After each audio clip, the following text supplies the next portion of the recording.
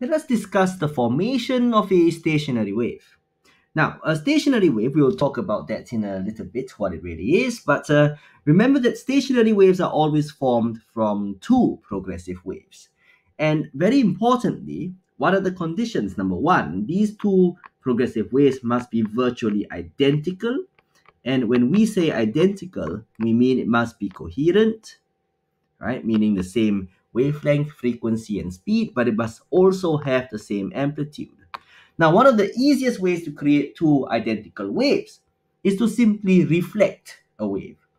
And this is going to work out very nicely because apart from being identical, these identical waves must travel in opposite directions and they must overlap completely. So it must be one wave going like this and another wave just simply coming right across it like this.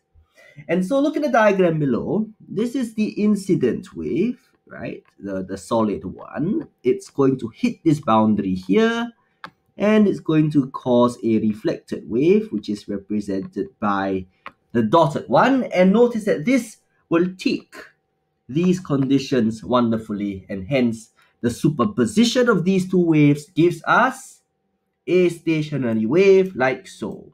So when we study a stationary wave, First of all, there will be these points called nodes represented by n and these are virtually destructive and so these points never move. And then on the flip side, there will be the antinodes, which we are going to denote as A.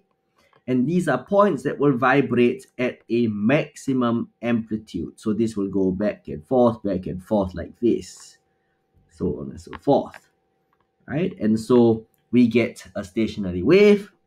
Okay? And of course let me draw in the dotted one to show the other extreme position of this stationary wave so we have an idea of how it looks like